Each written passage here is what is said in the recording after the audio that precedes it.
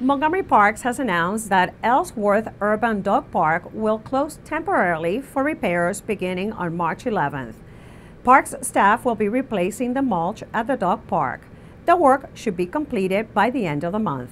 For more information, visit Montgomery Parks online.